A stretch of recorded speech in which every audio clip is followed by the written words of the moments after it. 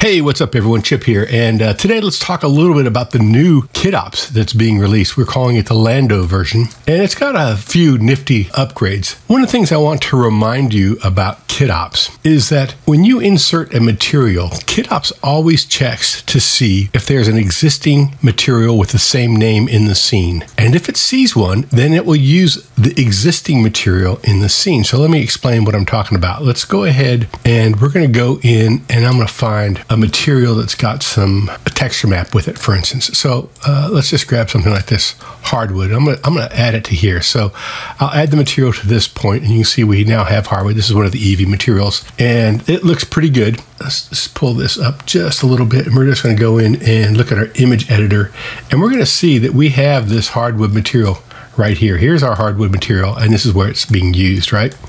Now, if I go and I select this cube and I add the material to that cube, then it's using the exact same material. And you can see that we only have one image there. If I go over here to our shader editor and I zoom up on it, and let's just do something like, you know, remove the base color for it, you'll see it removes it for everything. So the point being that this one material controls both objects. Now, this is pretty powerful, and it also means that if you're creating inserts, be sure and create unique names for your materials so that you don't accidentally overwrite somebody else's. So, for instance, if you had a material named Chrome and you were adding an insert, especially a commercial insert, onto someone's scene, and if someone was using your product to add a commercial uh, material onto their scene and it was named Chrome also, then it would not use that. Now, this is very valuable in the sense that what it does is it minimizes the number of materials that you have in your scene. So, for instance, uh, in the new uh, 3.0 Asset Manager, every time you add a new material, you're adding all new bitmaps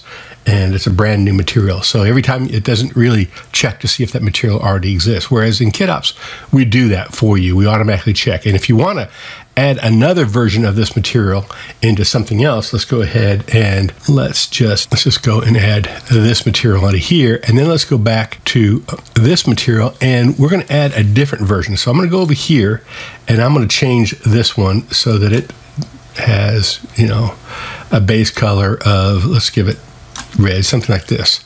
And then I want to add this material here. Now, if I add the material, watch what happens. It's going to remember it's the same material, but that's not what I want. I want to add this material. So if I hover over here, if I hit the control key, and I click add, then it will add a new instance of that material. So that's something to be aware of. Okay, now let's talk about some of the other features in this new Lando edition. Delete that object and let's just turn off these. I'm going to go ahead and in my Design Magic, and this will happen with any insert, but I'm going to use Design Magic to do this. If I grab an object like, oh, let's say this cube torpedo, and I just add it with nothing selected, okay?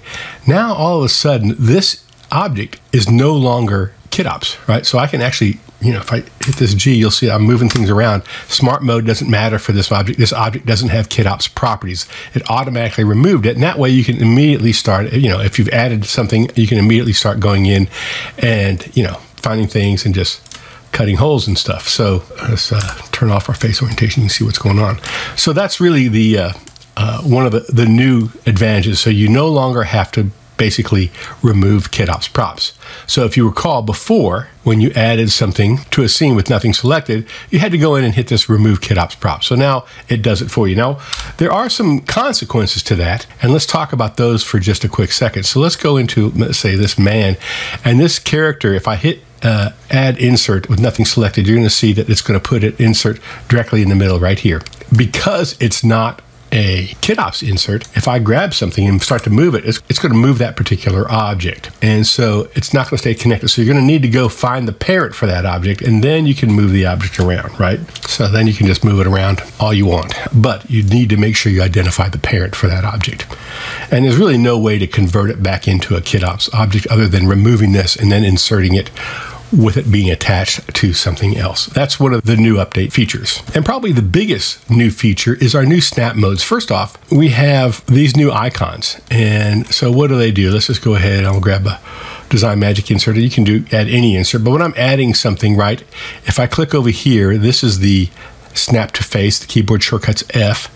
snap to edge, snap to vertex, keyboard shortcut V, edge is of course E, and then none is N. So if I add this insert, it's going to snap right to the middle and I can roll the mouse wheel to move it up or down, right? So that's the F. Now if I hit the E, it's going to snap to the middle of the, an edge. Notice down here we have snap to nearest and snap to center, right? So if I hit C, I'll toggle to nearest. So now I'm going to be anywhere along this edge.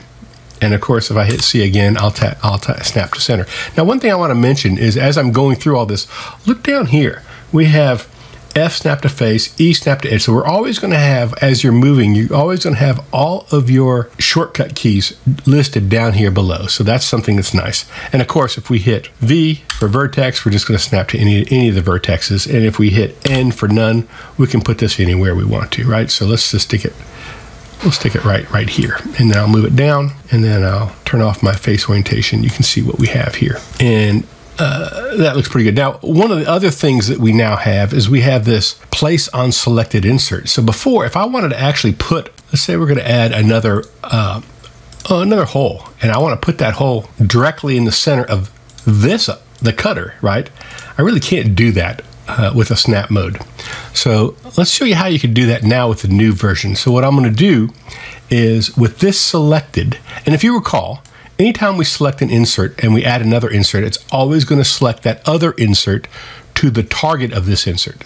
What am I talking about? If I have this selected and I add an insert over here, you'll see that it always adds it to the target. So it's adding it to this object. So even with this selected, it's going to add it to the target. So now I want to add another hole, but I want it to be centered on this particular insert. So how do I do that? Well, really pretty straightforward. I'm going to basically say place on selected insert, and that is using the shortcut P, and I'll add insert, and I'll drag it on here, and you'll see that we have a selected insert, but what it's doing is it's trying to place it on top of this, which is not what I want. I really want to go down below, and then I'm going to say place on selected insert. So let's go ahead and do that. We'll add the insert here, and now we're doing exactly what we want, and if I hit F, it's going to snap it to the center just like that.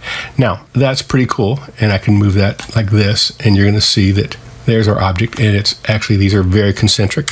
I look at the top view, you know, you'll see that it is perfectly concentric. Now, the other thing I might want to do, though, is I might want to go up the other direction. So let's take a look at that. Okay, so let's talk about one other feature here with this new snapping system in KitOps, and that is this flip placement. Let me show you an example of how that might work. If our object is selected like this and we hit the add insert button, you'll see that we'll add it to the top, or if we get down below in the view, we can add it to the bottom. But if we use the flip placement, if you look, if you notice, this is the keyboard shortcut I, it'll be right down here. So if I use the flip placement, I hit the I, button, it's going to flip it to the inside of this object now.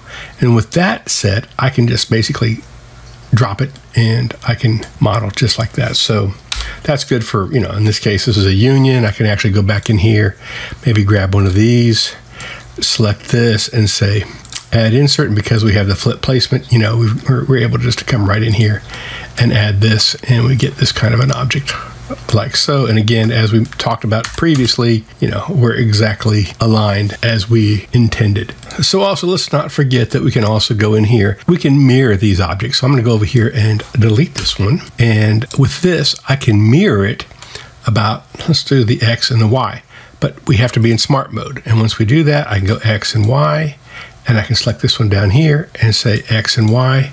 And, you know, you can see what we've got going on. So one of the things that we're doing now with KitOps is we're running a feature upgrade about once every two months. And of course, these are all free. So you're welcome to use the existing versions or just go on to your Blender Market or Gumroad page where you purchase KitOps and just download the free version. And I'll try and make sure that I let you know when we're updating a version so you can get the new one. So that's it for this month's upgrades. And we will see you online. Thanks for watching. Bye.